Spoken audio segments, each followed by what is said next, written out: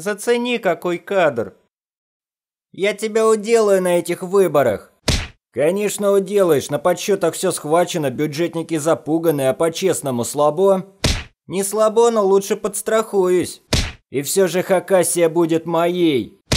Понимаешь, власть это зеркало народа. У него давно не вызывает возмущения, что кто-то что-то украл. Он испытывает зависть, что не находится на твоем месте и не может также вытереть ноги об окружающих. Согласен, все дело в менталитете. От того, что власть сменится, нифига не изменится. У Германии бы тоже нифига не изменилось, если бы покушение в 44-м было удачным. Именно. Это не мы сделали такой гадской страну. Эта страна сделала нас такими. Менталитет. Что ж, поздравляю с победой, ты все-таки уделал меня. Я ж говорил, что Хакасия будет моей. Да и народу уже все равно за кого голосовать, лишь бы не за тебя. И все же поздравляю, ты победил в честной борьбе. В какой нафиг честной борьбе ты совсем куку? -ку? Ты был единственным кандидатом на этих выборах. Чего?